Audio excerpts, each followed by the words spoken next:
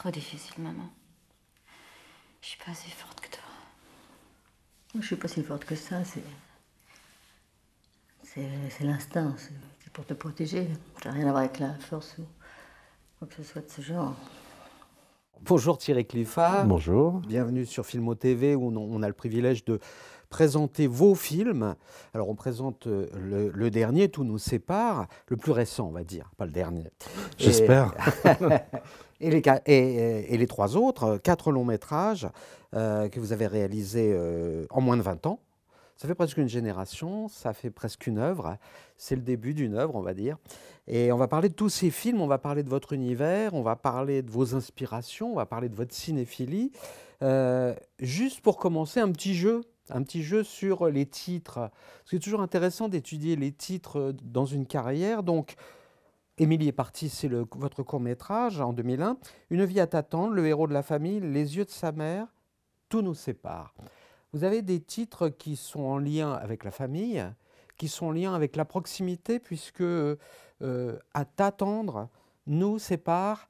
Euh, il y a quelque chose d'un langage qui est proches du langage courant dans vos titres, qui sont pas loin des dialogues. Euh, est-ce que c'est juste une construction de l'esprit ou vous êtes quelqu'un qui travaillait sur vos titres pour leur trouver une proximité avec éventuellement euh, votre public?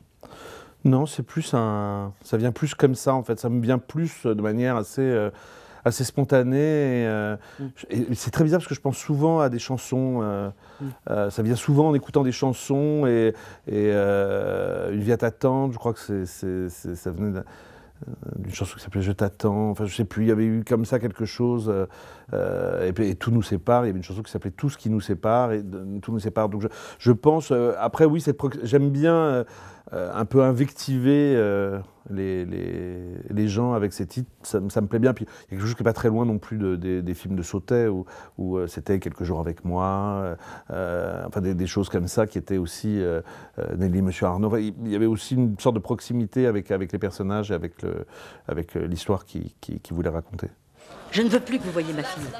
Attends, tu me fais quoi comme plan là? C'est à elle de décider, non? Elle n'a pas 15 ans? Et alors je reste quand même sa mère Qu'est-ce que tu veux que ça me foute? Moi, au moins, elle s'ennuie pas. Elle sort, elle s'amuse, elle vit. La vraie vie, formidable. Ouais, peut-être même qu'on va se marier, t'as pas dit Pour continuer à nous plumer La banque m'a appelé. Ferme ta gueule, mamie, putain Faut pour qui à me parler comme ça? Je suis ta pute, moi T'as dit pourquoi, là, me faire des leçons de morale? Tu veux que je te parle, moi, de ton mari et de ses trafics sur le port Mais t'es pas tout blanc, ton boss, alors s'il te plaît, viens pas me casser les couilles ici. Je regrette qu'il soit plus là pour vous casser la gueule. Non, mais sérieux, ça là ou quoi? Alors, tout nous sépare. Euh, c'est le, petit dernier, c'est le, film que vous avez porté, comme on dit aujourd'hui, que, vous avez emporté euh, devant la scène et devant le public. Euh, c'est un film un petit peu particulier dans votre carrière parce que euh, il est d'abord il y a un élément quand même de un élément noir, de film noir. avec lequel vous n'étiez pas forcément familier jusque-là. il y a un changement de scénariste, vous avez travaillé avec un nouveau scénariste, euh, après avoir eu une sorte de fidélité, enfin en tout cas d'amitié avec Christopher Thompson. Vous passez avec, avec Cédric Anger. Et là, donc, c'est un, changement de couleur dans votre univers. J'ai tort, j'ai raison? Non, non, non, non, vous avez raison. Euh, enfin, moi, je ne l'ai pas vu euh, comme ça, parce que quand on écrit une histoire, on écrit une histoire. Après, euh, c'est vrai qu'au départ, avec, avec Cédric, il y avait la, volonté de, de, reprendre les codes du, du, film noir, de les adapter à, à la société d'aujourd'hui et, et, de s'amuser avec, en mm. fait. Donc, il y avait ce côté un peu exercice de style. Mais très vite, il y a des choses quand même qui, me sont revenues, comme la transmission, comme les histoires de famille, mm. les secrets de famille, tout ça. Et puis la, la, proximité entre deux, euh, deux personnages qui euh, n'ont finalement au départ rien, rien à voir et qui vont se trouver des, des, des, affinités. Après, concernant, euh, les, concernant le changement de, de, scénariste, ça s'est vraiment fait comme ça. Je suis très très proche de, Christopher, qui est vraiment un de mes amis les, les les plus proches, et qui d'ailleurs a été très proche du projet, puisque je pense que c'est l'un des premiers à avoir vu le film, à me faire des remarques, comme il a lu le scénario plusieurs fois. Donc, euh, c'était, ça m'amuse. En fait, ce qui était bien avec Cédric, euh, dont j'aimais beaucoup euh, les films, c'était qu'il me sortait un peu de ma zone de confort. C'est-à-dire que tout à coup, il me pousse, il m'a poussé à, aller vers une certaine forme de, de- de violence, des choses qui étaient en moi, et, mais qui n'arrivaient pas forcément à se, à se réaliser dans les films que j'avais fait pré- précédemment. Quoi. Mm. Oui, notamment, il y a, il y a dans le film quand même une des scènes finales avec un passage à tabac. Enfin, il y a, y y deux scènes d'hyperviolence, on va dire, euh, dans le film qui sont assez euh, marquantes. Euh, Mais c'est drôle parce que moi, je les vois pas. J'ai été très surpris en fait par les premières réactions quand j'ai commencé à montrer le film, même en, en- comme ça en cours de montage, de, de- de voir des gens, euh, de voir les gens effectivement assez surpris de, cette violence qui, alors peut-être parce que euh, quand on les tourne, ça n'a pas du tout euh, cette résonance-là, parce que c'est très euh, Mm. découpé, très euh, chorégraphié, donc on sait exactement ce qu'on fait. Mais, mais c'est vrai que, que par rapport à, à cette violence, j'ai été surpris parce que sincèrement, je ne trouve pas le film beaucoup plus violent, enfin mm, que beaucoup de, de, Non. de- de films qu'on qu'on peut voir, mais il y a un truc qui a surpris, je, je pense, euh, peut-être venant de ma part, ou, ou ces scènes de violence dans ce cinéma-là. C'est plutôt un compliment parce Oui, que oui, si oui, on- bien si sûr. on Non, non, mais la je- violence, c'est- c'est que à un moment vous avez marqué euh, sur un élément dramatique décisif. Donc euh, bon, c'est pas Kislovski, mais quand même euh, il y a un meurtre, euh, même si c'est un meurtre, euh, on va pas tout raconter, mais même si c'est un meurtre par par hasard hein, ou par par malédiction, on va dire, euh, la violence de la séquence est, euh, quand même c'est un des moments très forts du film. Et aussi bien dans la, manifestation de, ce meurtre euh, que dans le, ce qu'il implique sur le plan psychologique. C'est vraiment. un- bon, bref, on reviendra là-dessus. C'est un film dans lequel les femmes font reculer les méchants. Il y a une scène très intéressante où Catherine Deneuve, la nuit, enfin, on- vous mettez en place un dispositif où on s'attend à ce qu'il y ait, euh, comme dans un thriller, euh, une persécution de deux femmes chez elle par un gang. Partez Partez On cherche Ben. Ben Torres. Je connais pas. Vous avez rien à faire ici Il a tué quelqu'un, vous le savez ça? Je planque personne. J'ai appelé la police. Ils vont arriver. Partez. Partez Allez, partez Partez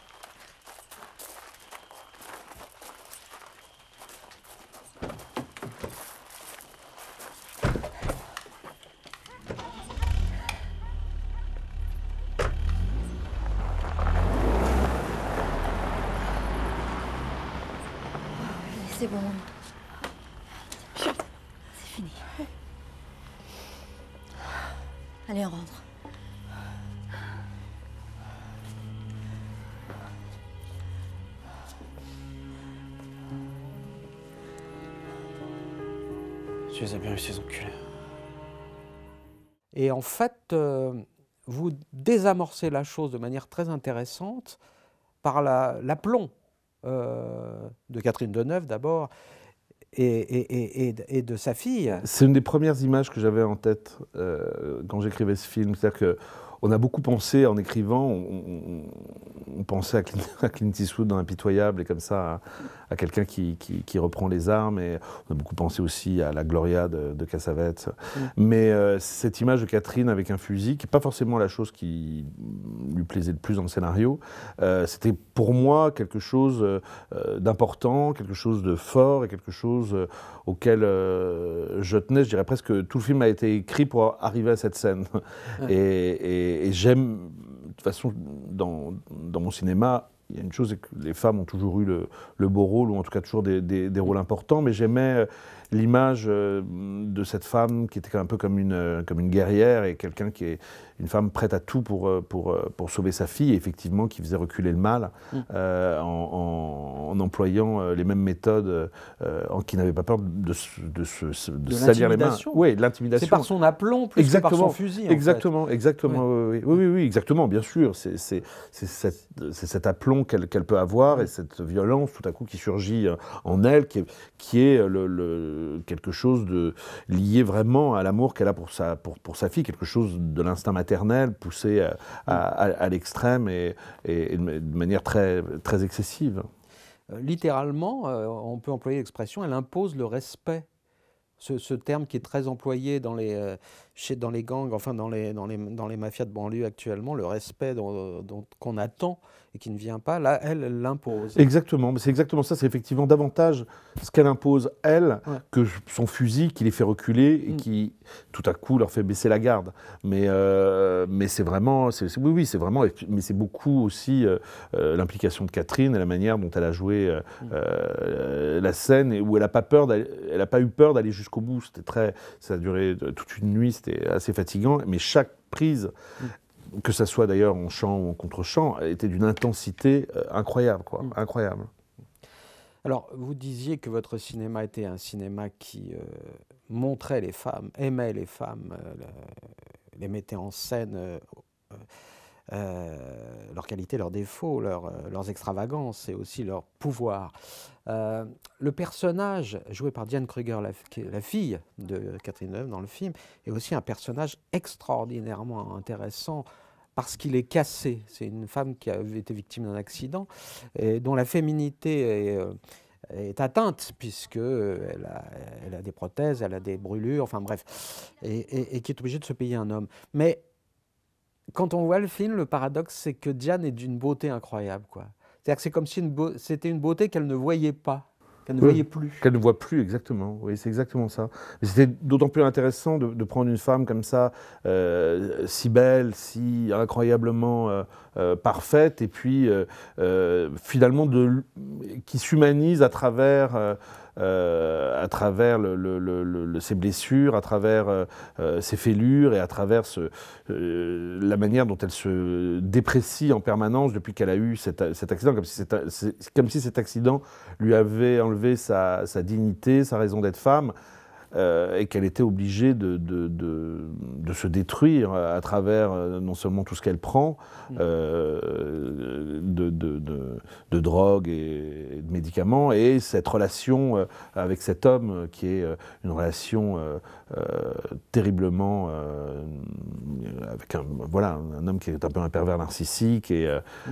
une cette relation passionnelle mais, mais passionnelle dans le mauvais sens du terme quoi.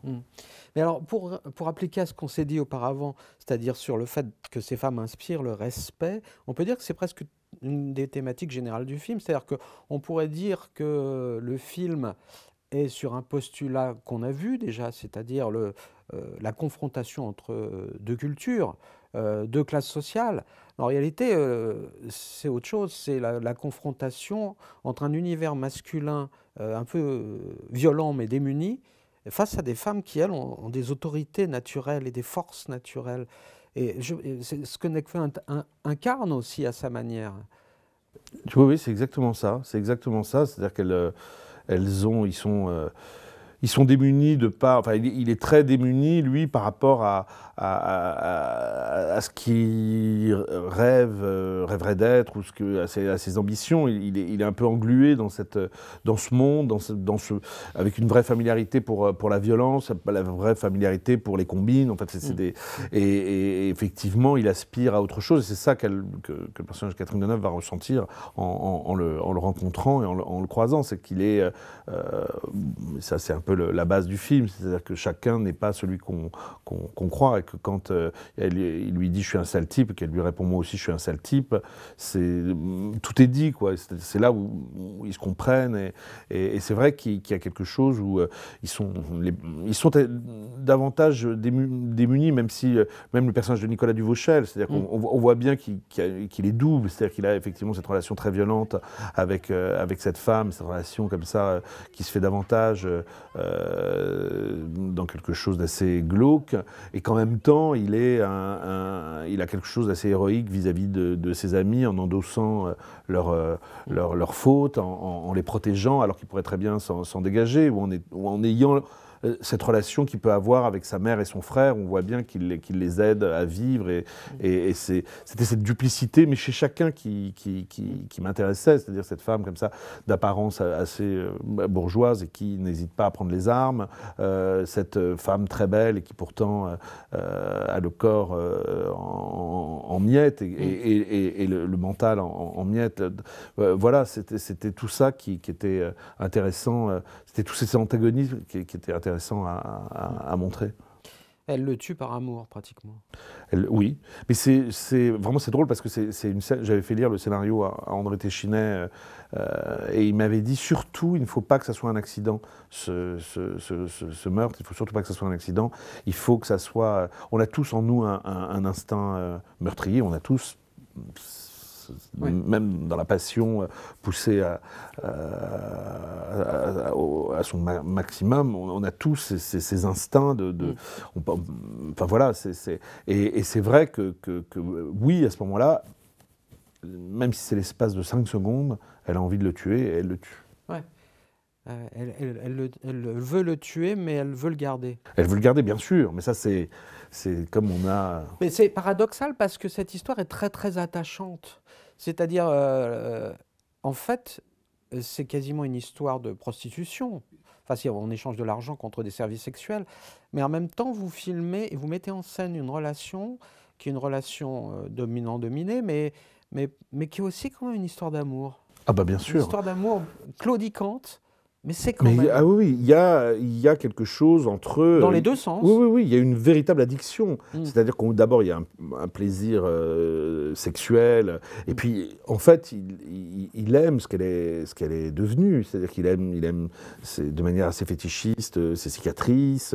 euh, il, il- il- il l'aime tout entière avec euh, son claudiquement, avec ses cicatrices, avec euh, Mm. ses- ses- ses- les marques qu'elle a, les, les stigmates qu'elle a sur, sur son corps. Donc ça c'est euh, et, et- et en fait l'image qu'il lui renvoie d'elle n'est pas nécessairement une image aussi né- négative que celle qu'elle a, qu'elle a d'elle. Et donc après, il y, a, il y a ce trafic d'argent, de médicaments, de, de- de drogues euh, diverses et variées, mais, mais il y a- je tenais absolument à ce que cette histoire euh, soit une vraie histoire d'amour, quoi, une vraie une histoire d'amour qui est, un- qui est dans une impasse et qui ne peut pas aller loin avec, euh, avec je t'aime, je te hais, je te, je te prends et je te, et je te rejette.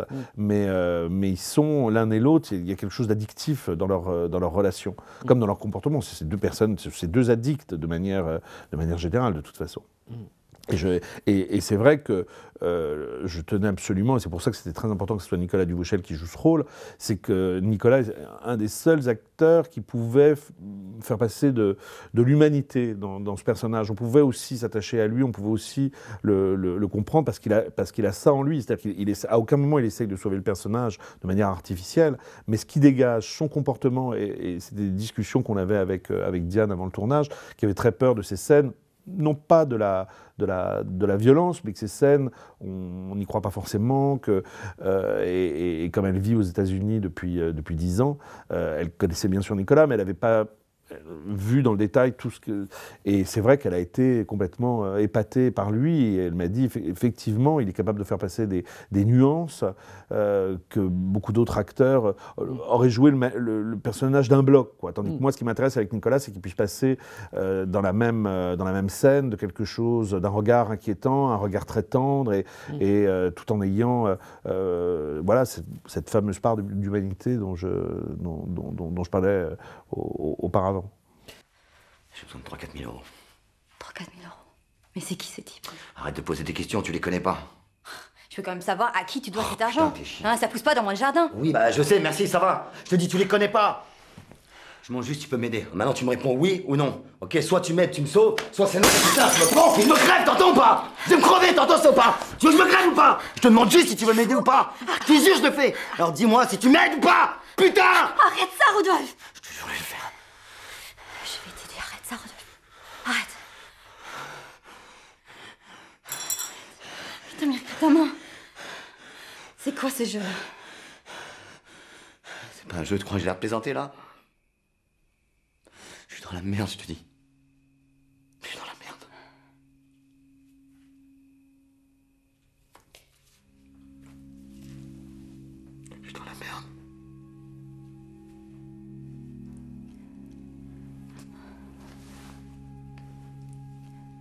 C'est un voyou, on a toujours l'impression, mais particulièrement dans votre cinéma, on a la sensation que Nicolas Duvauchel, il, il incarne ce personnage de voyou qui est toujours en rédemption.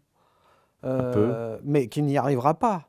Euh, Mais en fait, cette quête, elle est presque. C'est ça qui lui donne son humanité. euh. Un peu, oui, oui, oui, c'est vrai, il y a quelque chose de... de- de- de- Il se serait rêvé autre chose, quoi. Ah bah bien sûr. Bien sûr, et- mais ils aspirent tous à, à partir, ils, ils aspirent tous à, à avoir. euh, de- enfin, là, en tout cas, ces, ces personnages-là, ils sont englués dans une. Ils, ils ont pris le mauvais chemin au départ. et Ils sont, la seule chose qui les, qui les relie les uns aux autres, c'est cette, amitié et, à la vie, à la mort qu'ils ont euh, Mm. en- en- entre eux. Et d'ailleurs, cette scène, par exemple, où après euh, le combat de chiens, ils partent se baigner comme des gamins euh, qui, qui retrouvent une sorte de forme voilà, d'adolescence et de, de- de- Mm. de légèreté. En plus, il était un peu plus âgé que les, les deux autres, donc il a comme ça ce, ce, ce De côté grand frère, de- oui, oui, ce côté grand frère. Mm. Mais, mais ce qui les lie les uns aux autres, c'est vraiment ce sentiment euh, euh, d'appartenance à la même famille, quoi. Et, et c'était très important que, que ces trois garçons soient, euh, soient liés de manière euh, viscérale, quoi. Mm. Et, et- et que du coup, oui, il, le- court après une, une rédemption et, et- c'est une manière euh, aussi de, de- cette rédemption, elle s'applique aussi euh, dans le, dans le, dans le pacte euh, qu'il peut y avoir entre eux quand il décide de prendre sur son dos aussi la, la- faute de ses, de ses amis, quoi. Et alors, il y a, euh, dans l'utilisation de vos décors, que ce soit sur la scène de violence dont on a déjà parlé, euh, comme sur le- ce moment de joie, là où ils vont... euh, vous, vous êtes dans une Méditerranée qui est comme un terrain vague. Euh, mais pas dans, dans- peut-être dans le sens un peu noble du terme, pas dans le sens Oui, décharge, mais avec un côté euh, the middle of nowhere. Euh, c'est pas la plus belle plage, euh, c'est pas la, c'est la mer n'est pas d'un bleu éclatant, enfin c'est pas non plus Ah l'été. Il y, a, il y a quelque chose de d'un- d'un d'un univers en soi, comme d'une bulle particulière. Euh, J'imagine que vous avez fait un travail de repérage assez poussé Ah pour oui, oui. euh, euh, suggérer cette Ah ambiance. oui, oui, je- je- je- j'ai eu une repéreuse vraiment exceptionnelle qui s'appelle Maria Moutot, qui a vraiment et un chef d'écho aussi formidable qui s'appelait Mathieu Menu. Mais c'est vrai que je voulais des. En fait, je, ne sais pas pourquoi, je pensais beaucoup euh, euh, au, au Bayou, à la Louisiane, à des, des- des- des endroits comme ça. Euh, c'est vrai que mes références, elles étaient davantage, quand je pensais aux films euh, américaines ou euh, au polar américain, il y avait quelque chose comme ça. C'était. euh, de toute façon, je, je déteste quand ça a l'air euh, touristique, euh, d'aller dans un endroit. Et là, c'était des. des- des- J'aimais bien cette cité qui était comme ça. On n'est pas loin de la Camargue, du coup. il y a ce oui, c'est la petite Camargue, oui, Ouais. la- voilà. Et, euh, mais j'aimais que ce soit des décors comme ça, assez désertiques, assez Mm. au, mi- au milieu de nulle part, et, et- et qu'effectivement, que le décor joue un rôle aussi essentiel, presque que, enfin, que le décor soit un, un personnage. à- Mm. à- chaque lieu a été, était vraiment très étudié, recherché par rapport à, cette histoire. Enfin, ce qui paraît logique euh, quand on, quand on écrit, mais c'est vrai qu'avec Cédric, on pensait à ces endroits-là sans forcément les connaître, et que, et que- enfin, on connaissait la, la cité de l'île de Thau, mais, euh, mais, mais, mais il fallait que, que surtout qu'il y avait- il y avait la cité d'un côté, la maison des deux femmes de l'autre, voilà, et qu'entre Mm. ça soit effectivement comme un- une sorte de, de no man's land, quoi, avec, Mm. euh, avec l'eau, avec le vent, avec euh, euh, c'était ça- ça- tout ça était très très très important. Oui, et puis avec cette sensation que les routes ne mènent nulle part. Exactement. Ou elles mènent à la mer, ou elles ont... Ou à la mort. Ou à la mort, voilà, absolument. Ouais, mais c'est très, c'est vraiment des scènes fortes. Elles sont très frappantes sur le plan symbolique aussi. euh, euh, alors, le film a été lancé. Bon, merci les publicitaires, ils sont là pour ça. Euh, les gens qui font de la communication euh, sur le casting, bien sûr, qui est euh, comme souvent dans vos films assez impressionnant en termes de notoriété. Diane Kruger, Catherine Deneuve, bien sûr, mais aussi avec ce jeune homme qui fait ses premiers pas devant votre caméra, qui appartient à une génération, où la génération lui appartient, c'est Necfeu, et qui est dans une culture qui n'est pas la vôtre. Je me souviens, on a été jadis journaliste dans, la même, dans le même établissement, on se connaît depuis longtemps, euh, on écoutait Guns N' Roses. Ouais. Euh, donc euh, là, d'un seul coup, on est dans le rap, la culture rap, qui, qui appartient à une autre... Enfin, elle appartient pas à une autre génération, parce qu'elle existait déjà, mais c'est celle-là, c'est celle de maintenant. Alors, pourquoi ce choix, et qu'est-ce qui vous a attiré chez ce jeune homme? En fait, c'est plus innocent que ça au départ. C'est-à-dire que euh, vraiment, on écrivait en ayant euh, Catherine, Diane et, Nicolas en tête. euh. Et puis un jour, je- on, était. je, pensais vraiment prendre un inconnu pour. voilà, j'aime- bien souvent, comme j'ai pris Jean-Baptiste Lafarge pour les yeux de sa mère, enfin, prendre un nouveau visage, euh, mêler comédiens très confirmés avec des comédiens comme ça qui débutent. Et je suis tombé, euh, j'étais en vacances, je suis tombé sur une, couverture des Inrocks euh, avec euh, un, entretien croisé euh, entre Necfeu et Virginie Despentes. Et je l'ai trouvé très beau. Alors je connaissais comme ça de, de nom, parce que j'aime Guns N' Roses, mais j'aime bien le rap aussi. Et donc je le connaissais comme ça. Et c'était pile au moment où il sortait son premier album solo, et c'est là où tout a explosé. Et donc, euh, je vois, euh, je, je- vois ce visage, et je le trouve euh, voilà, très intéressant. Je me dis, tiens, il pourrait correspondre au personnage. J'appelle Cédric, Cédric me dit, oui, pourquoi pas. Et j'ai demandé, en fait, à le rencontrer, et, alors on m'avait dit, ça va être très compliqué, et tout ça, en fait, ça a été très simple. Et puis, c'est un- c'est quelqu'un d'assez direct. euh, euh, je lui ai parlé du, projet, ça l'intéressait. Il m'a dit qu'on lui avait proposé beaucoup de films euh, avant, Mm. euh, mais rien qu'il avait. Enfin, le, le cinéma n'était pas pour lui une nécessité. Et euh, tout ce qu'on lui avait proposé, c'était de jouer euh, des ersatz de lui-même, voilà, avec la casquette de travers, et puis ou des comédies pour ados, enfin tout ce que vraiment il, il répugne. Et je lui ai donné le scénario. Il l'a lu très vite euh, et hum, il on s'était dit qu'il fallait faire des essais de toute façon pour voir à quoi, ce qu'il était capable de, de faire devant une caméra. On a fait ces essais et en fait, très vite, je me suis rendu compte que euh, tout ce qu'il avait, c'est ce qui ne s'apprend pas et, et ce qu'il n'avait pas encore, c'était des choses qu'il pourrait apprendre. Mm. Donc euh, ça m'a conforté dans l'idée que je pouvais avoir de lui. Donc voilà, je- on s'est dit qu'on allait faire ce film ensemble. Je- euh, un peu avant le tournage, je lui ai présenté euh, une femme qui s'appelle Nathalie Donini, qui est coach, euh, euh, qui l'a coaché un peu, non pas tant sur le, le scénario en lui-même, parce que ça, je voulais qu'il garde une certaine fraîcheur, une certaine spontanéité, mais pour lui apprendre des rudiments du, Mm. du, du métier, du, de- voilà, ce- comment se comporter sur un tournage, apprendre à respirer, apprendre à placer sa voix, enfin des choses Mm. comme ça euh, qu'il fallait qu'il qu'il connaisse. Mais, mais euh, entre-temps, j'étais allé le voir sur scène au Zénith. Et en fait, j'avais été. C'est un personnage, euh, c'est un, garçon assez dans la vie, discret, qui veut passer inaperçu, euh, qui a un, vrai point de vue euh, sur la vie, sur les choses, mais qui est comme ça, qui pourrait presque mm, passer totalement inaperçu. Et sur scène, j'ai découvert un garçon qui avait une forme de, de oui, d'arrogance, de morgue, qui, qui bon, une aisance euh, évidemment, et puis euh, une manière de bouger qui était. Et je lui ai dit en fait, le, le- le personnage de Ben, au départ, il est comme toi, tu peux être dans la vie, mais après. Quand il est, euh, quand c'est, quand l'histoire, euh, quand c'est lui qui prend les rênes de cette histoire, c'est, là-dedans qu'il va falloir que tu ailles chercher, ailles puiser. Et Il Mm. m'a dit, je comprends exactement ce que tu veux dire. Et, c'est vrai que la première scène qui, joue, c'est la scène où il débarque au bureau de Catherine Deneuve euh, la première fois, en étant très violent, euh, en tout cas verbalement, euh, vis-à-vis d'elle. Et à la fin de la journée, Catherine m'a dit, je pense que ça va être très bien.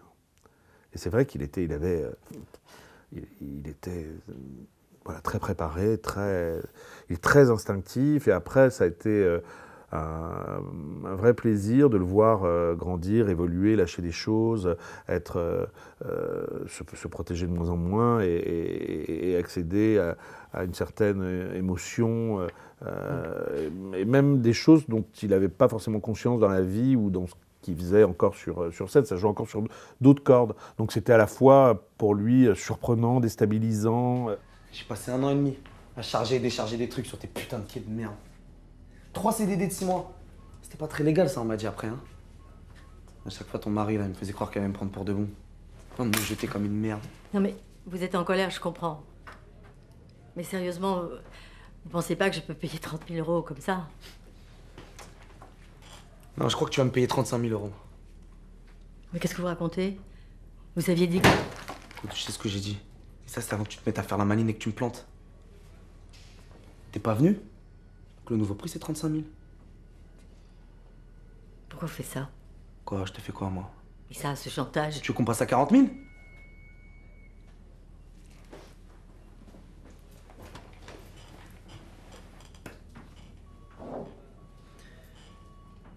Moi, tout ce que je veux, c'est l'argent. Mais toi, les gens comme toi, vous voulez tout, vous. Et je fais ça parce que je peux le faire, c'est tout. C'est pas de me faire croire que tu comprends pas ça. Et c'est la- beauté du cinéma aussi et de votre film, c'est-à-dire qu'il y a ce jeune homme au début qui a une personnalité un peu effacée et timide, euh, ce d'autant plus que l'acteur qui l'incarne est lui-même dans une position de timidité. Ouais. Et euh, et, euh, par la grâce du scénario, il monte en puissance et révèle une personnalité. Et l'histoire du scénario, c'est aussi l'histoire du tournage euh, et, de la naissance d'un acteur. C'est ça qui est... euh, Bah, de toute façon, moi, je suis convaincu que les choses se, se, se- se nourrissent. Moi, c'est pour ça aussi que j'aime beaucoup euh, retravailler avec les mêmes collaborateurs, les mêmes techniciens. Enfin, il y a un truc de, fidélité, mais pas fidèle bêtement, mais j'aime bien cette notion un peu de, de famille comme ça et de, voilà, retrouver les mêmes acteurs, euh, retrouver Catherine, Nicolas, ou dans d'autres films, euh, Géraldine Pellas ou Michael Cohen, Mm. euh, enfin, qui est aussi dans ce J'aime bien, oui, oui, cette, cette notion-là, et du coup, il en a aussi bénéficié, c'est-à-dire qu'il s'est senti tout de suite, bien sûr, admis, et, et il, a, il, a, il a trouvé sa place assez rapidement, mais c'est toujours émouvant de, de voir naître comme ça un, acteur dont on sait qu'il va forcément refaire des choses après, et que, qui, qui va avoir une, une vraie évolution euh, ar- ar- artistique. C'est, voilà, c'est, très, très touchant.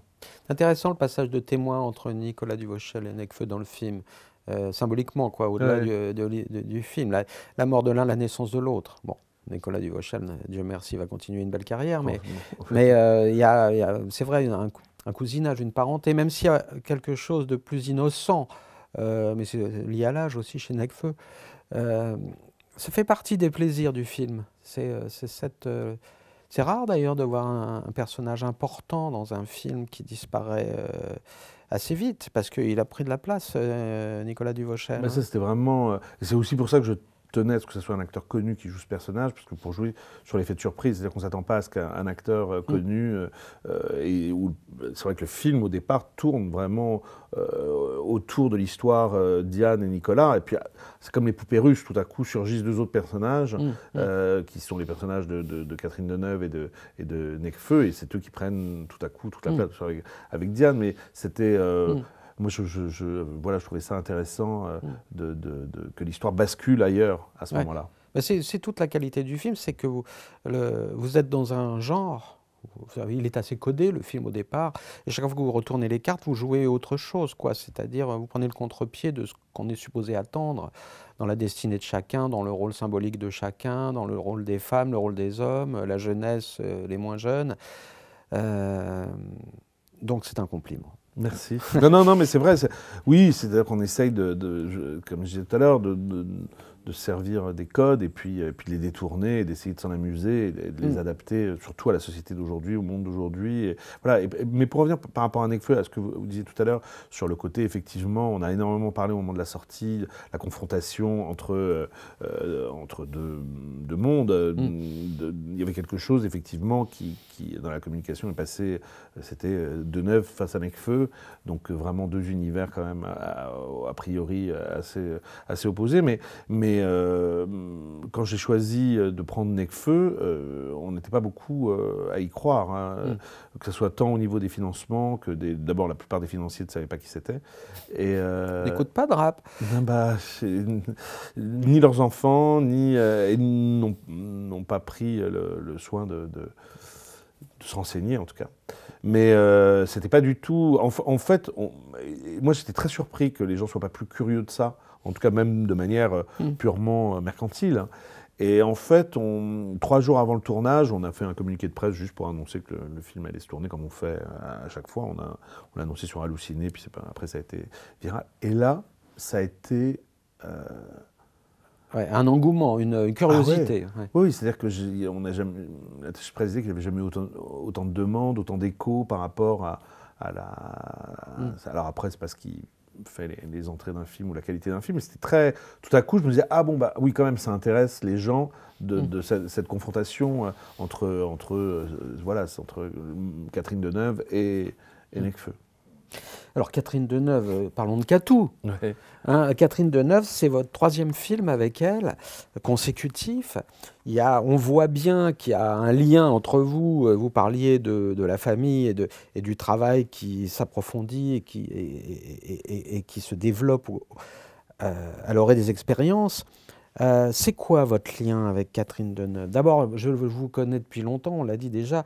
Euh, il y a cette cinéphilie et cette passion pour les acteurs et cette passion pour Catherine. On peut l'appeler Catherine entre nous, euh, qui a marqué toute l'histoire du cinéma français et qui le marquera encore. Comment vous êtes passé de cette admiration compulsive, d'adolescent pratiquement, dans le bon sens du terme, à la- ce travail euh, quotidien euh, de, sur les personnages, sur comment on va la jouer, euh, qu'est-ce qui va se passer, comment on va, comment De manière assez simple et artisanale, mais c'est même pas une, une passion simplement adolescente, c'est une passion d'enfant. C'est-à-dire que c'est vraiment la, la première actrice que, que, que j'ai aimée. C'est vraiment Catherine à travers. Dans quel film? Peau d'âne, hein, comme beaucoup de, de, gens de ma génération, puis des générations su- suivantes, puisque le film pe- perdure. Et, et voilà, et, et c'est vrai que j'ai, après, j'ai voulu la retrouver. euh, euh, j'ai voulu retrouver ce visage, j'ai voulu et, et à partir du moment où on commence à tirer euh, le, le- le fil d'or de sa carrière, on, on a accès à, à ce qui s'est fait de mieux dans le cinéma. C'est-à-dire qu'on découvre Truffaut, on découvre, on découvre Buñuel, on découvre Rapneau, on découvre euh, Téchinet, on découvre voilà tout ça. Et, et c'est vrai que et, plein d'autres, euh, Polanski, etc. Mais, mais c'est vrai que, que, du coup, euh, euh, elle a été dès le départ mon actrice préférée. Vous savez, vous savez bien qu'on n'oublie jamais un premier amour. Donc après, je, très vite, mon deuxième film, quand j'ai voulu l'écrire pour elle, parce qu'on a vraiment avec Christopher Thompson écrit, écrit le héros de la famille pour elle. Je ne savais pas du tout comment, euh, voilà, comment, d'abord si elle allait accepter. Et après, les choses se sont faites de manière euh, très simple et très artisanale. Catherine, euh, elle est dans le travail, elle est toujours du côté du film, elle est. Et je me souviens qu'à la, fin, qu'à la fête de fin de tournage du héros de la famille, donc, donc ça s'est particulièrement bien passé sur le héros de la famille, je lui ai dit, mais de toute façon, à partir de maintenant, je ne pourrais plus faire un film sans vous. Et c'est, c'est pour Belle moi, déclaration d'amour. oui, oui, c'est, mais c'est, c'est quelqu'un voilà, qui est toujours du côté du film, c'est quelqu'un qui, qui vous pousse toujours à, à, à vous dépasser, qui est très, euh, très impliqué. Je sais que là, sur le, à un moment donné, quand on a terminé, je sais pas, la deuxième ou troisième version, on s'est dit avec Cédric qu'il faut absolument euh, avoir son point de vue, avoir le point de vue d'une femme sur, sur cette histoire. Et elle nous a fait, euh, euh, elle l'a lu de manière très précise, on a fait des séances de travail ensemble, on est retourné écrire, on a... Et ce qui, est, toujours intéressant avec Catherine, c'est qu'elle a une vision globale de l'histoire, et pas simplement de son personnage, pas le genre d'actrice qui lit ses scènes, et puis qui... Là, notamment, elle trouvait qu'il y avait un, vrai déficit sur le personnage de, de, de- de sa fille, donc elle disait, si vous voulez que ce soit une actrice comme Diane, euh, et puis euh, pour que, le, ce soit un vrai quatuor, il faut, vraiment euh, aller plus, plus loin sur ce personnage. Donc, et, après, ben voilà, elle était là tous les jours, même le jour où elle ne tournait pas, elle passait sur le tournage. Elle est, c'est un, un bonheur énorme, puis c'est un- un- une joie et, et pour moi de, de partager. Euh, euh, on, voit beaucoup de films ensemble, on, se- voilà, on se, voit beaucoup dans la vie, on va, beaucoup au cinéma ensemble, on s'échange des séries, euh, des livres. Enfin, c'est quelqu'un avec qui c'est un dialogue euh, continu. Donc, euh, en fait, c'est une chance exceptionnelle pour moi de- de pouvoir euh, avoir Catherine euh, Mm. dans, dans ma vie. Et c'est un jour le, le- Julien Hirsch, mon, mon chef opérateur, euh, qui disait quelle chance on a d'avoir Catherine dans notre vie et euh, dans nos vies. Et, hum, et c'est vrai. C'est- quelqu'un euh, vraiment d'ass- d'assez exceptionnel. Alors, je trouve qu'elle, dans ce film, elle, ça m'a beaucoup intéressé, c'est-à-dire que j'ai regardé jouer, puisque je, enfin, je l'ai vu une deuxième fois pour préparer l'émission, et euh, il y a une part de... alors, c'est une part de mise en scène aussi, c'est une part de mise en situation, mais elle joue le personnage avec une forme de, euh, je dirais, qui est peut-être de la maturité, mais de désinvolture. C'est-à-dire qu'elle a ce côté, cette manière de regarder, cette manière d'être. Même dans une situation hyper... Bon, c'est le personnage, mais même dans une situation hyper dramatique, il y a quelque chose de, d'une fatalité sensuelle, je ne sais pas comment le formuler, dans son rapport à sa fille, elle ne la juge pas. Oui, oui, bien Euh, dans sa rapport au monde, il y a cette jolie séquence que vous filmez dans- sur les, les docks, quoi, dans les, sur les quais, où elle fume une cigarette, euh, où elle se, il, il se dit rien, mais il se dit tout sur ce qu'elle est, sur ce qu'elle a été, etc. Et je trouve qu'elle a, elle, a cette couleur-là maintenant, c'est-à-dire rien n'est si grave au fond, même si tout l'est en réalité. Oui, bah, c'est-à-dire qu'elle prend, elle prend souvent euh, euh, les, les situations à contre contre-courant ou à- le contre-pied des situations. Cédric Angers a une jolie formule, il dit elle est toujours euh, un pied dehors. Oui, Et, et- et c'est ça que je trouve très intéressant, c'est-à-dire qu'elle ne surjoue jamais les scènes, qu'elle est... En même temps, elle, je trouve, dans le film, elle montre une vulnérabilité qu'on ne lui avait pas vue depuis longtemps. Et, et c'est... euh, le film, de toute façon, il existe au départ vraiment pour elle, euh, comme un- une déclaration d'amour, mais, mais chacun des, des films que j'ai pu faire est comme une déclaration d'amour euh, à cette, à cette femme formidable, et de la retrouver, voilà, tous les deux, trois ans, comme ça, pour tourner, pour c'est à la fois la même et, en- et encore une autre. Mm. Euh, la seule chose qui, qui m'ennuierait, c'est de faire des personnages qui se, qui se répètent, mais elle amène toujours un, décalage, elle amène toujours quelque chose de, qui n'est pas attendu. Euh, André il dit quelque chose de très joli sur, sur, sur elle. Il, il dit Je ne sais jamais, euh, quand, on- quand elle commence une prise, si elle va arriver au bout de cette prise. Et c'est vrai qu'il y a dans sa manière de jouer, on ne sait jamais si. Elle est sur un fil, quoi. Donc on ne sait jamais si elle, elle va arriver au bout de, de, de, de la, de, de sa phrase ou de, de, de, de- de la scène. Et comme si elle était au bord, euh, toujours au bord du précipice, mais sans en rajouter, l'air de rien. Et en fait, Mm. c'est l'air de rien.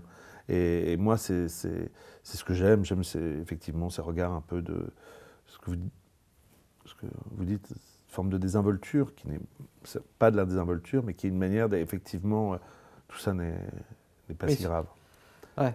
Elle, elle rajoute pas, dans, en tout cas jamais dans le pathos ou dans des, ou dans des, euh, et d'autant plus quand ce sont des situations qui sont comme ça euh, très euh, au bord du presque, au- enfin je veux dire c'est des situations presque au bord du qui pourraient être ridicules aussi. Enfin je veux dire donc du coup elle, a- elle amène quelque chose qui, qui n'enfonce pas le clou en tout cas, qui, qui place la scène ailleurs. Le cinéphile que vous êtes a forcément pensé à un moment en tournant le film au choix des armes. Oui bien sûr. Et euh, c'est un film que j'adore. qui qui est un film magnifique, ouais, avec là aussi un casting éblouissant. euh, Et, euh, et qui est, bon, c'est pas du tout le même sujet, mais il y a un cousinage, il y a un héritage en tout cas qui est là. Et puis c'est Catherine Deneuve. Ouais. euh, Mais c'est, oui, c'est un film que, que- c'est un film que j'adore. De toute façon, j'aime beaucoup Alain Corneau, mais c'est peut-être parce que à chaque fois qu'on parle d'Alain Corneau, on parle davantage de série noire. ou- Mais moi, c'est, sans doute le film d'Alain Corneau que j'aime le plus. Je trouve que, c'est un film bouleversant comme ça sur euh, l'échange des, générations, euh, euh, enfin la transmission et, et, puis cette, cette, cette violence presque euh, qui n'est pas du tout euh, qui est pas du tout stylisée enfin je veux dire qui est, qui est dans une certaine forme de quand même de, naturalisme. Je me souviens de, de Depardieu courant après ce, cheval et puis c'est- une des plus belles déclarations d'amour à, à Catherine Deneuve justement ce- quand Yves Montand au téléphone euh, lui dit dit à Depardieu tu regarde là tu, tu peux pas la tuer en gros regarde regarde comme elle est belle regarde et comme puis elle- lui dit mais qu'est-ce qu'il raconte oui, oui, oui, c'est- extraordinaire. Extraordinaire, cette scène, ouais. extraordinaire. Et c'est un film qui avait été pas très bien accueilli, je crois, à l'époque, qui n'a pas été un, un énorme succès et qui est devenu quand même un, un- un- un classique. Mais c'est intéressant parce que euh, je vois bien là où est votre, votre cousinage, parce que en fait vous, vous travaillez sur les malentendus, c'est-à-dire que le, le choix des armes, c'est aussi un film dans lequel tout le monde aurait pu s'aimer. Exactement. Exactement. Et finalement tout le monde meurt, quoi, pratiquement. Exactement. Enfin, Oui, tous oui, tous oui. les destins sont brisés, Exactement. mais ça ne tient, qu'à- ça ne tient à rien. euh, à cause de la pesanteur de la fatalité sociale, euh, du passé, etc. Et euh, c'est ce qui, on peut dire un peu la même chose sur Tout nous sépare, c'est-à-dire que Ça me fait très tous ces gens, tous ces gens, or, on, on aurait pu les retrouver comme dans un pagnol ou un- à la fin en train de bouffer Oui, dans sûr. un dans un sautet où, euh, où on se parle et où, euh, où on échange des considérations euh, à table. Oui, oui, exactement. Mais c'est des, c'est- c'est- c'est-à-dire qu'ils n'ont pas de, de deuxième chance, en fait. Mm. Ouais. film. Et qu'effectivement, à un autre moment. dans- Alors, est-ce que sans cette situation dramatique, ils se seraient rencontrés les uns les autres? Pas forcément. Donc, en même temps, on ne peut jamais euh, savoir. euh, euh, c'est toujours pareil quand une situation négative vous arrive et que juste après il y a quelque chose de positif, on se dit toujours ah mais si cette chose né- négative n'était pas arrivée finalement, est-ce que euh, ce qui, ce qui m'arrive de, de bien là euh, Mm. euh, me, me- me serait arrivé? C'est pas un spot de fou, ça, sérieux? Regarde, ça c'est pour les guetteurs. Pour prévenir si jamais il y a des voitures de flics ou des trucs chelous. Mais moi, je préfère regarder par là. T'as l'impression que le monde t'appartient d'ici. Et la nuit, avec toutes les lumières, je te raconte pas. On venait tout le temps là avec Rodolphe. Là-bas, sur l'immeuble en haut, c'est vous? Ouais. Énorme, hein? Vous avez le droit de, de faire ça comme ça sur les immeubles? Bah non. De toute façon, moi, j'ai l'habitude de rien demander à personne. Je suis un sale type, tu vois. Je vois. Moi aussi, je demande rien à personne. Moi aussi, je suis un sale type. Thierry Cliffat, quatre, euh, cinq films, donc un court métrage de 25 minutes et quatre longs métrages, euh, presque 20 ans de carrière, je le disais. Euh, vous, êtes, euh, vous êtes intimidé encore? Intimidé par quoi? Par le plateau, par la caméra, par Je les pas- acteurs? Non, je, je- mais j'ai- en fait, j'ai beaucoup appris inconsciemment quand j'étais à Studio Magazine, parce que j'ai énormément, c'est ce que je préférais presque, j'ai énormément passé de temps sur les, sur les plateaux, j'ai pu voir euh, au travail euh, des gens comme Sautet, comme Téchinet, comme René, enfin, comme Chabrol. Et en fait, quand je me suis retrouvé sur mon court métrage, euh, je me suis rendu compte que c'était un, un univers qui m'était familier. Donc j'avais pas euh, l'appréhension ni vis-à-vis des acteurs, et pourtant sur mon court métrage j'avais quand même Daniel Darius, Henri Berlin, Michael Cohen, donc c'était même du lourd. Euh, j'avais pas de, j'étais pas impressionné, euh, admiratif, tout ça, mais j'étais pas euh, tremblant pour ça. Après, le, ce qui m'impressionne toujours, c'est euh, est-ce que je vais être inspiré? Est-ce que je c'est plus c'est plus cette angoisse là mais je pense que avant de faire des films, je me disais que l'endroit où j'étais le plus heureux au monde, c'était une salle de cinéma. Et maintenant, je sais que les deux endroits où je suis le plus heureux au monde, c'est le, le- la salle de cinéma et c'est le plateau de, cinéma où je suis euh, très, très heureux avec euh, les difficultés, avec les moments où on s'arrache les cheveux. Je me souviens, j'étais, euh, mais je repense toujours à ça. J'étais allé sur le tournage de Nelly Monsieur Arnaud. Je suis allé beaucoup sur le tournage de Nelly Monsieur Arnaud parce que j'avais tissé un lien comme ça avec, avec Claude Sautet.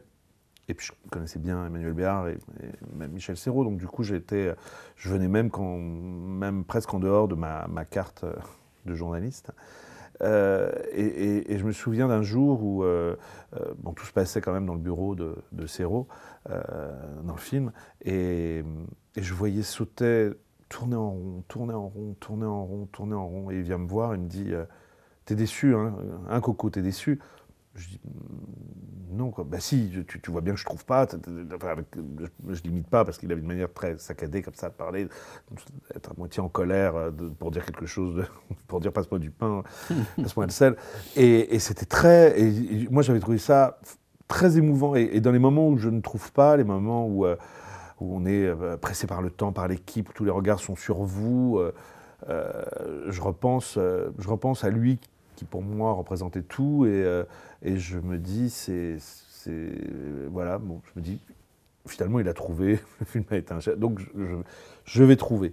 Mais euh, voilà je suis davantage im- impressionné par euh, voilà je me dis oh là là, est-ce que je vais être capable que, que par euh, l'ambiance d'un plateau puis surtout là, comme la plupart des gens avec qui je travaille les, les- ce sont des regards bienveillants en général sur moi. Ça peut être des regards impatients mais ça reste des regards a priori euh, euh, bien, bienveillants après, l'angoisse, elle est euh, quand on travaille pour la première fois avec quelqu'un comme Diane Kruger, est-ce qu'on va s'entendre? Est-ce qu'on va.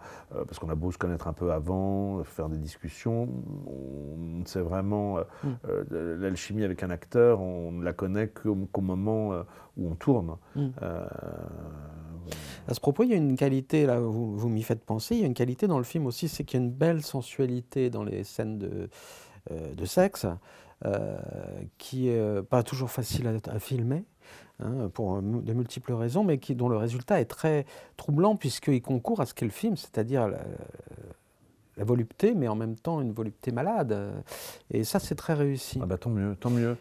Tant mieux. Mais c'est beaucoup aussi la complicité avec les acteurs. Et euh, euh, c'est toujours très compliqué à tourner. à C'est vraiment pas. Mais, mais ils étaient tous les deux très volontaires. Et, on a trouvé, voilà, avec Julien Hirsch, le, chef-op, comment rendre.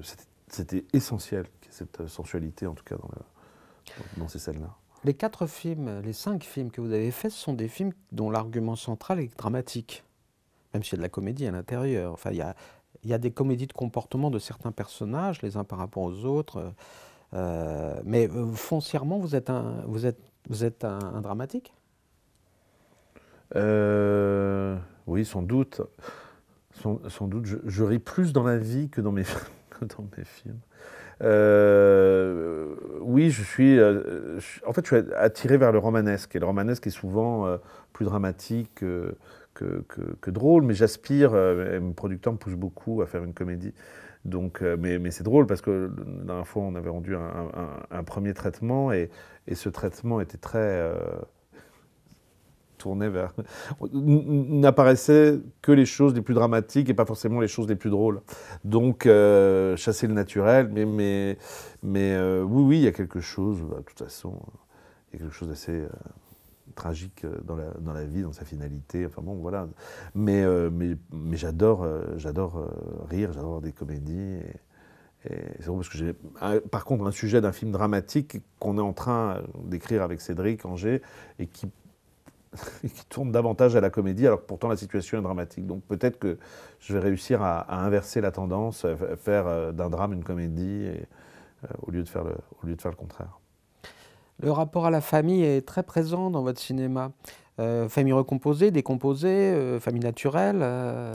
euh, c'est concours de circonstances, coïncidence, euh, votre rapport à votre famille, et si je ne suis pas indiscret, a quelque chose à voir, à votre histoire Je suis très. C'est drôle parce qu'on parlait hier avec, un ami qui était très surpris que je, parle très très souvent, tout le temps, que ce soit un dialogue ininterrompu avec mes parents, avec ma sœur, avec mes neveux.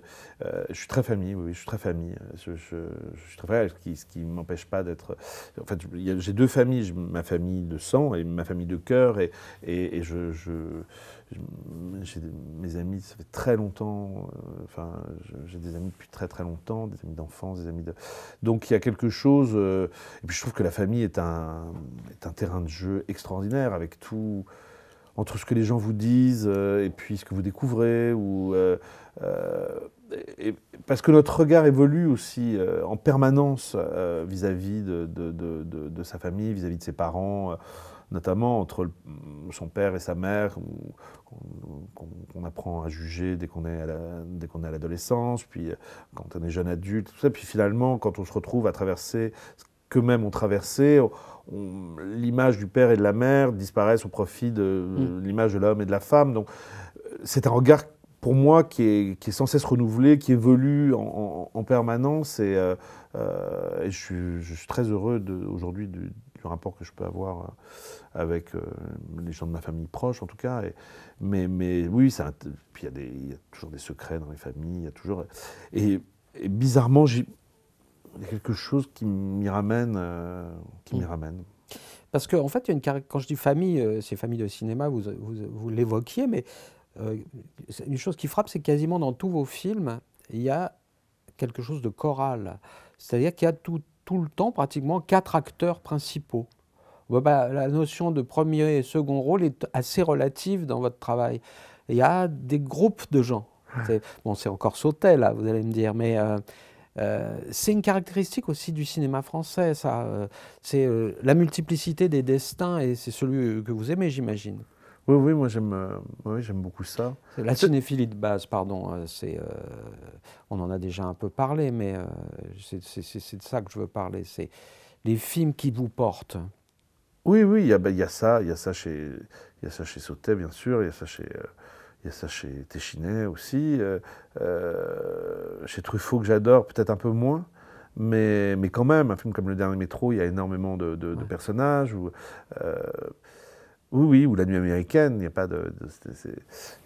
C'est vrai qu'en fait, à chaque fois, je me dis, euh, allez, là, deux personnages, puis euh, bon, un troisième, euh, puis un quatrième. Il y en a moins dans euh, Tout nous sépare. c'est plus, plus recentré, en tout cas, même s'il y a des personnages euh, euh, Mm. enfin, satellites à, à- à l'histoire. Mais, mais c'est plus. Oui, oui, c'est ça, c'est au fur et à mesure de l'écriture, ça, ça, ça vient comme ça et ça ne va pas s'arranger dans les prochains films. Nicolas Duvauchel, il disparaît au bout de combien de temps dans Tout nous 20 sépare? minutes. On a l'impression qu'il est dans, tout le film. Oui, parce qu'il d'abord, il, Ah, il il- revient. il le hante. Il le hante. Mais c'est vraiment ça. Mm. Mais c'est aussi ce la manière dont il, dont il imprègne euh, la pellicule, dont il imprègne le film. Quoi. C'était ça qui était surtout essentiel, que ce soit un personnage. Et puis on parle beaucoup de lui, même quand il n'est pas là, on parle de lui. Mm, On- il revient euh, dans les fantasmes de, de Diane, il revient dans les, dans les souvenirs de Necfeu et de, et de Diane aussi. Donc il y a quelque chose là-dedans. euh, euh, C'était essentiel que ce personnage soit euh, euh, hante le film véritablement, euh, même après sa, sa disparition. Alors, si vous aviez à présenter vos films très, très rapidement, euh, avec le recul du temps, parce que le, ci- le cinéma euh, continue à raconter l'histoire des films, vous diriez quoi, film par film, par exemple, en quelques phrases euh, euh, Non pas sur le synopsis, mais sur ce qu'il représente dans votre vie? Euh, c'est dur. Euh, bah, Émilie est partie, c'est mes premiers pas. Et puis c'est- un, un film qui était vraiment en hommage à ma grand-mère. Et j'avais promis à ma grand-mère de, que, ça, que ça serait Daniel Darieux, parce que c'était son actrice préférée. Que j'avais grandi. euh, ma grand-mère avait une seule actrice qu'elle aimait, c'était Daniel Darieux. Et j'avais grandi dans ce. avec comme ça cette figure tutélaire de Daniel Darieux. Elle et ma grand-mère m'avait dit, tu sais, mon chéri, je l'ai vu en 36 à la collection Dior, je n'avais jamais vu une femme aussi belle qu'elle. Et quand je les ai présentés à la projection de mon court-métrage, ma grand-mère lui a dit Vous savez, je vous ai vu en 36 à la, à la collection Dior, je n'avais jamais vu une. C'était, la, boucle était bouclée, il y avait quelque chose euh, qui était, euh, qui était très, très émouvant et d'assez, ma- d'assez magique. Après, euh, après, sur mon premier film, je me suis rendu compte, j'étais, très obsédé par le, fait d'être capable de raconter une histoire de A à Z, une histoire qu'on arriverait à, suivre, euh, une histoire qui était un peu à la manière d'eux, c'était très, j'étais très sous l'influence de, de Sautet, mais comme on est sous l'influence d'amis qui vous sont chers, de parents qui vous sont proches. Euh, donc j'étais ma satisfaction, elle est venue du, du fait de me dire, bah voilà, je peux raconter une histoire et que cette histoire peut toucher les gens qu'on ne peut pas savoir avant d'avoir fait un film. On- C'est très, euh, voilà, en plus c'est- un film, on a beaucoup travaillé le scénario, beaucoup, beaucoup, beaucoup. enfin bon. Allô? Alex? Pour toi. Qui c'est? Allô Ça va T'es plus chez ta mère Ah T'as trouvé J'entends mal, il y a du bruit, on est plein ce soir. Je croyais que t'aimais pas ce quartier. Attends, attends, je note. Moi, les déjeuners, les dîners, c'est très difficile. Maintenant je je peux pas maintenant, non, on est débordés. Non, vraiment, je peux pas. Je t'embrasse. Moi aussi, je t'embrasse.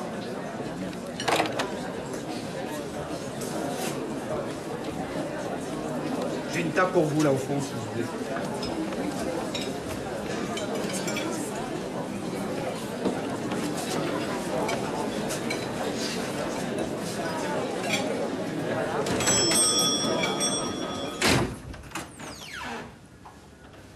Je savais que tu viendrais. Honteuse. Plus, le film était sur ce sujet-là, puisqu'il était sur euh, est-ce que j'ai pas manqué quelque chose? Voilà, exactement. Et, et- après, ce, euh, le film a vraiment, vraiment cartonné, parce qu'il a fait près, d'un million d'entrées, tout ça. Mais je me suis pas du tout, euh, pas du tout euh, bien vécu le, le, le- enfin, j'ai pas du tout profité du succès du film et, et du côté assez rare finalement d'avoir un film comme ça qui, qui cartonne hum, son premier film d'entrée. Mm. Et, euh, et- j'ai même, parce qu'il y avait quelque chose, tout à coup, je me suis dit, maintenant j'ai réalisé mon rêve, c'est-à-dire c'était de, de faire un film. Qu'est-ce que je peux faire euh, Et donc je me suis tout de suite remis à écrire avec, avec Christopher. Et donc c'est- le héros de la famille qui est euh, peut-être un de mes films les plus, peut-être mon film le, plus, qui rac- le plus personnel, qui raconte des choses très, mais de manière cryptée, donc euh, que, les gens qui- me connaissent savent exactement ce que ça raconte de moi. Et, et- et- pareil, c'était un hommage euh, au, cinéma hollywoodien, euh, à la, comédie musicale, et, tout ça dans un cabaret, tout ça. si j'avais pu le tourner, enfin je tourné en scope, mais si j'avais pu le tourner en Technicolor, je l'aurais tourné en Technicolor, tout ça, et avec une multiplicité de, points de vue, de personnages, et, puis c'est ma rencontre essentielle avec, avec, avec Catherine. Peut-être qu'ils te garderont. Et tu trouves ça drôle, toi C'est pas drôle. C'est humiliant. Humiliant par rapport à tout le monde. Aux employés et à mon public aussi. Ton public, mais lance une pétition. Je sentais que t'étais pas loin. Tu le sens quand je suis dans les parages maintenant. Hein c'est un peu particulier. Un peu comme un vieux chien. T'as l'air en forme. Tu m'as reconnu, c'est déjà bon signe. Et Simone? Je suppose qu'elle est arrivée la première, éplorée. Elle t'a porté toute la douleur du monde sur ses épaules.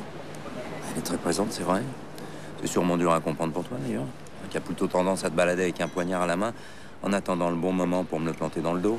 Écoute, ça fait 25 ans. Et puis tu méritais une petite vengeance. De toute façon, j'ai rien inventé. Hein.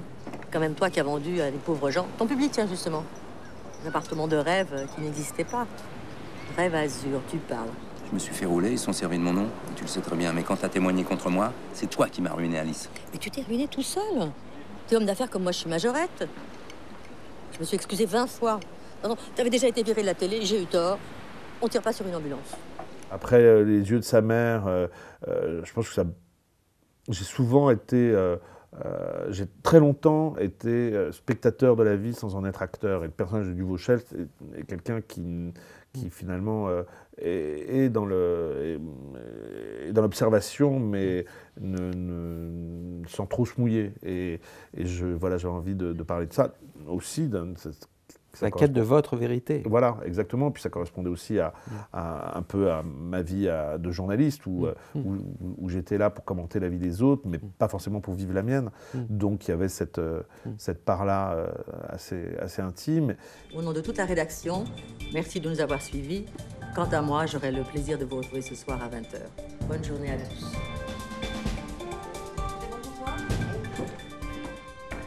C'était formidable. hein. Vous êtes contente? Je trouve que ça donnait vraiment envie. Hein. Bah, c'est grâce à Léna. On se sent tellement bien chez vous, on a envie de s'installer, de se confier. C'était un plaisir, Mélodie, vous revenez quand vous voulez. Promis. Bon, je me sauve, mes petits blues m'attendent. Merci. Bon, je sais pas, j'ai pas eu le choix. Attends, le marchand vient de m'appeler, il est euh, très content. Oh, c'est beau l'amour. Oh, attends, elle était pas si mal. euh. Bah, attends, la célébrité est une prison dorée, j'ai fait un contrat avec moi-même. Attends, faut en enfiler des perles. Tu viens, Mathieu? Elle va parler de son combat pour les sans-papiers cette fois-ci? Elle ne veut plus, c'est du domaine de l'intime. Ça commence où l'intime? Pour elle C'est à peine si elle fait pas une conférence de presse mensuelle pour nous annoncer qu'elle a eu ses règles. Oh, c'est un peu féroce. Pour le 20h, je voudrais modifier les lancements avant la conférence. Après, j'aurai pas le temps. On s'adaptera en fonction, hein, je suis désolée. Pas de problème, jamais de problème avec toi, c'est formidable. Est ok pour la soirée sonnière. Tu pars pour Nice à 13h15, retour le lendemain à 11h. Et la voiture passe te prendre à l'aéroport et t'emmène directement chez Antoine. Pour son cadeau, j'ai prévu des gants. Oh, c'est trop, Mathieu. En deux mois, je suis devenue une vraie assistée. Le dernier, c'était presque, un, voilà, presque un défi de- de- de- de- d'aborder un genre où on ne m'attendait pas, où on pensait. Il est que- presque trop frais pour que vous en parliez. Oui, exactement. J'ai du mal à avoir du. C'est très dur d'ailleurs de. J'ai dû le présenter la semaine dernière euh, dans un festival, et puis tout d'un coup, j'ai- j'ai dû reparler du film. Ça me paraissait très. Oui, puis on en parle sans arrêt, on redit sans arrêt Oui, les oui. mêmes phrases, y Oui, compris dans cet entretien. Bah non, justement, j'ai l'impression. non, non, non, mais c'est vrai, c'est vrai, les questions sont euh, orientées d'une autre façon, donc euh, non, non. Mais euh, puis ça me gêne pas, hein, mais, mais euh, oui, c'est un peu trop. euh, mais en tout cas, je suis content d'avoir euh, du défi qui, présentait euh, qui- à, moi-même et, et d'avoir euh, relevé ce défi en tout cas. Est-ce que euh, quand cette œuvre s'élabore comme ça, qu'on a euh, créé un certain nombre d'œuvres euh, distinctes les unes des autres, mais qui constituent un ensemble, est-ce qu'on on- on- on- on se voit différemment? Est-ce qu'on a appris sur soi suffisamment de choses? Est-ce qu'on s'estime mieux? Enfin, question très intime et un peu indiscrète, mais c'est quoi finalement? Qu'est-ce que ça vous apporte vos œuvres? Alors ça m'apporte un plaisir euh, énorme à les faire, à les élaborer. En fait, j'aime tout ce que représente euh, le, travail. Vraiment, euh, j'aime écrire, j'aime la préparation, j'aime mettre en scène, j'aime passionnément le tournage, la post-prod, tout ça, j'aime être avec les équipes, j'aime j'aime euh, tout ça, j'adore ça. C'est très difficile, ça me, cause, crée beaucoup d'angoisse, de doute. Ça, c'est, euh, ça fait partie du, du- job. Et, en fait, je déteste, euh, je n'aime pas du tout.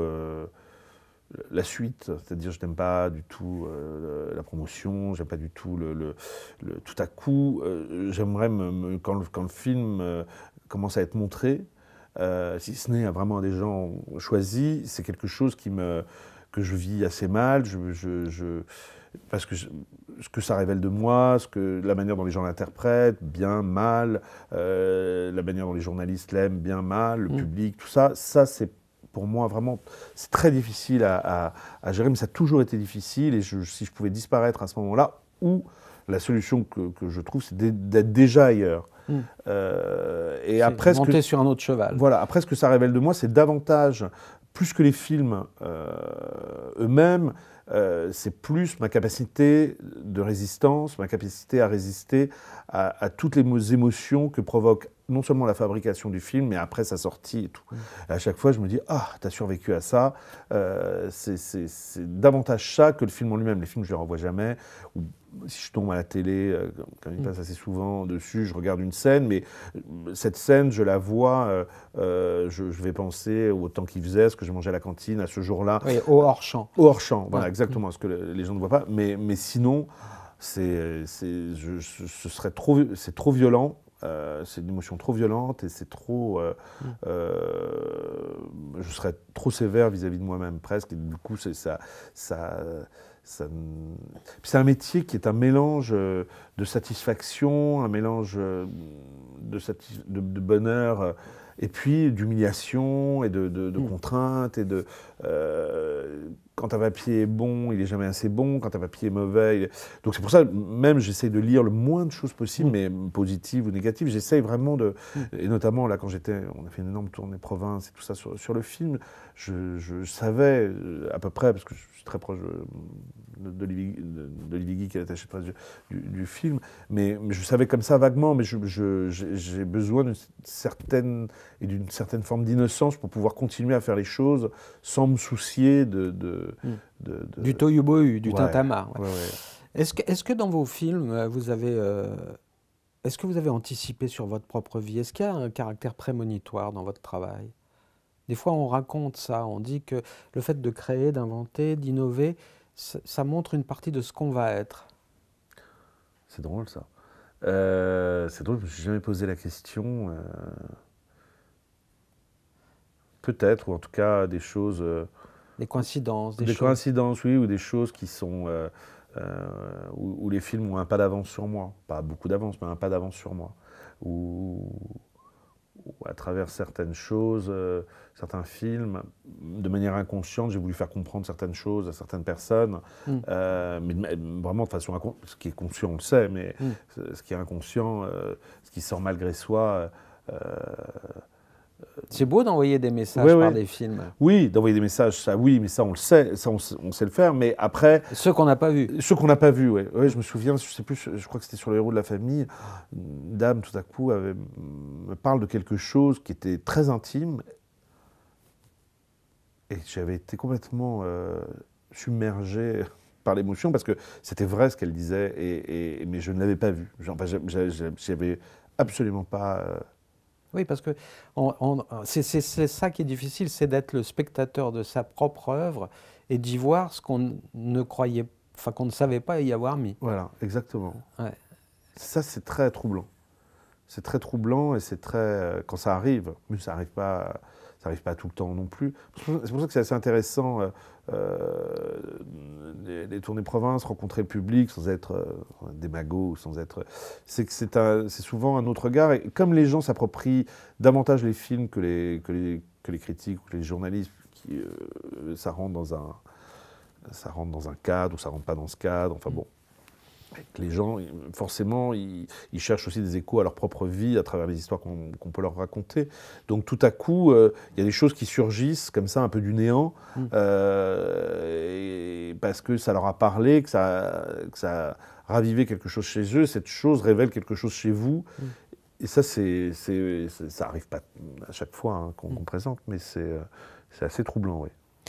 Une dernière chose, vous êtes très fidèle en production aussi, ou ils sont fidèles avec vous, à l'exception d'un seul film, je crois. euh, Vous avez. euh, vous n'avez pas fait quasiment tous vos films avec. euh, Les films du kiosque, Les films du kiosque J'en ai fait trois. Trois, en fait. Ouais. Après, il y a une, il y a une forme de. J'ai fait, le, le- j'ai fait le, mon court métrage, mon premier film, Tout nous sépare. Ouais. Euh, après, sur Les yeux de sa mère, j'ai rencontré, euh, qui a été produit par LGM, j'ai rencontré Romain Rousseau, euh, qui a monté sa boîte, qui est Nolita, et qui a coproduit le. le- euh, Enfin, qui, avait enfin, qui, qui- qui était vraiment, par rapport aux yeux de sa mère, euh, avait été fondamental dans la production du film. Et donc, qui a coproduit avec, euh, avec les films du kiosque. euh, Mm. Tout nous sépare. Tout nous sépare. Donc voilà, j'ai un autre projet avec eux, avec les deux, avec les films du kiosque et, et Nolita. Donc oui, oui, il y a une forme de continuité. Euh, le deuxième film, j'ai fait avec Saïd Ben Saïd, qui est un- un- vraiment un producteur formidable et quelqu'un que j'aime énormément. J'espère qu'on se retrouvera euh, aussi. Après, ça- parfois, ça dépend des projets, ça dépend de, de la manière dont les Du choses... calendrier, des du opportunités, ouais. Oui, et puis et puis il y a des films qui s'adressent plus à certains producteurs. J'aime bien comme ça. euh, Mm. euh, J'aime bien. euh, euh, c'est une relation tellement forte et tellement complexe avec un avec les producteurs. C'est c'est- compliqué parce qu'on est à la fois amis, en même temps il y a des il y a des enjeux qui parfois sont différents, des enjeux affectifs. euh, Catherine Deneuve est dans le prochain? J'espère. Il y a un rôle, en tout cas. J'espère, j'espère, oui, oui. Mais il y a, ce qui est bien avec, euh, avec, euh, voilà, avec Catherine, c'est qu'il n'y a pas de. Il n'y a jamais d'obligation, il n'y a jamais. euh, euh, et, et tant mieux, même avec euh, Géraldine Pellas ou Nicolas Duvauchel, tout ça, il y a. Euh, ou Fanny Ardant, avec qui j'ai beaucoup travaillé au théâtre, c'est-à-dire je propose, ils disposent, on se laisse la liberté, euh, moi, d'aller voir ailleurs, et surtout eux, de me dire oui ou de me dire non. Et je ne pourrais pas, pas en vouloir. Fanny Ardant, trois fois au théâtre? Oui. Pourquoi vous l'avez jamais dirigé au cinéma? J'aimerais beaucoup. C'est pas, oui, c'est pas présenté. Ça, bah, ça s'est pas présenté que, que- non non ça s'est pas encore présenté mais je, je- j'espère euh, j'espère que ça va arriver c'est, sûr c'est une femme que j'adore comme j'adorerais euh, retrouver euh, Nathalie Baye avec qui j'ai adoré travailler et Patrick Bruel aussi avec qui j'ai fait mon premier film c'est vraiment des, ils sont dans ils sont Vous êtes fâché avec personne? Non. Le cinéma, c'est de l'amour. Pas toujours, non, non, pas toujours, mais euh, j'ai eu beaucoup de chance. euh, les gens, les gens que, j'ai rencontrés, euh, beaucoup, beaucoup de chance. Non, non, je suis brouillé avec personne. Je les ai tous, tous les acteurs avec qui j'ai travaillé, je les ai aimés. je pense à Emmanuel Béard, je pense à Lanvin, à Miu Miu, à Brasseur, enfin, qui étaient dans les héros de la famille, ou Géraldine qui n'était pas dans ce film-là, mais qui est vraiment une amie très proche, Marina Foïs. Euh, non, non, j'ai eu beaucoup de chance sur les gens que j'ai rencontrés, techniciens, les producteurs, et je me suis brouillé avec personne, et, et, euh, non, mais et je, suis très reconnaissant à chaque fois qu'il m'ait accompagné euh, dans, mes, aventures et qui m'a aidé à faire sortir de moi ces histoires. Euh, c'est très, non, non, très, très exaltant. Donc, non, le cinéma, c'est pas que de l'amour, loin de là. Mais c'est comme dans la vie, hein, on n'est pas entouré que d'amour et ce serait, ce serait presque ennuyeux. Mais euh, en tout cas, j'essaye, moi, de m'entourer d'un maximum de bienveillance euh, par rapport aux gens avec lesquels je, travaille. Vous voulez faire comme John Huston, John Ford ou euh, les vieux cinéastes, euh, continuer à faire le film jusqu'à jusqu'au bout, travailler jusqu'au bout bah oui. Claude Chabrol Oui, oui, oui, oui, Claude, Claude Sautet, euh, oui, oui, bien sûr. Pas de retraite Pas de retraite, je me vois comme, enfin bon, John Huston que, que je vénère, et John Ford aussi, mais je, je pense toujours à John Huston. Les gens de Dublin, voilà, il faut votre absolument su- sublime où il est comme ça avec un masque à oxygène et qui continue à diriger, ou, ou Antonioni qui dirigeait avec les yeux. euh, euh, le cinéma était toute leur vie. Moi, le cinéma est toute ma vie, donc euh, c'est vraiment. je- je- et, et- et- et quand j'en fais pas ou quand c'est difficile de monter des films ou tout ça, c'est quand même ça c'est une ça c'est une vraie souffrance. C'est vraiment des choses dans ce que je vis le plus mal aussi, c'est la manière, c'est le montage des, des films où on est tellement exposé, c'est tellement dur de, ça c'est ça c'est ça c'est très dur. Merci Thierry, Merci. Cliffa. Merci Denis. Un peu familier quand même depuis le temps. Oui, oui, On va pouvoir se retutoyer maintenant. Voilà exactement.